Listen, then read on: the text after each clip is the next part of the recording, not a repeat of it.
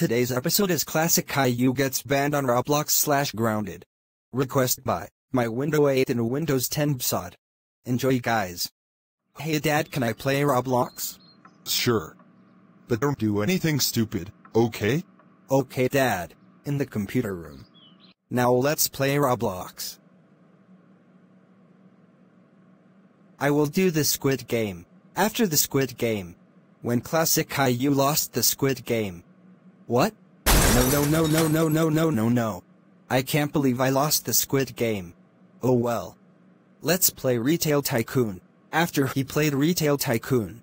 And said mean things about Stampylongnose about vandalizing his shop. But he didn't. What's next?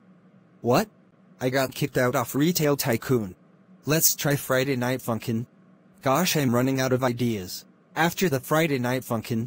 And lost the Friday Night Funkin'. What? Not again! Ra. Take this Roblox. Classic Caillou. Come down this instant. Oh no it's my dad, in the living room. Uh, Dad, why do you look so irritated? Because I've got a call from Roblox saying that you said bad things online. Is this true? Uh-huh. Yes, Dad, it's true.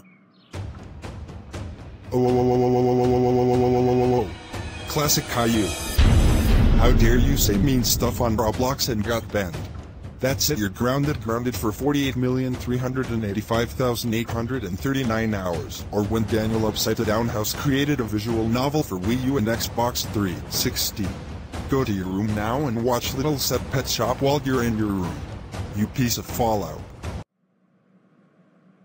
Uh, maybe I shouldn't have said those things to get banned.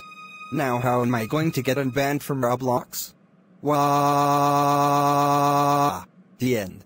Make sure you like, comment and subscribe to my channel. Goodbye.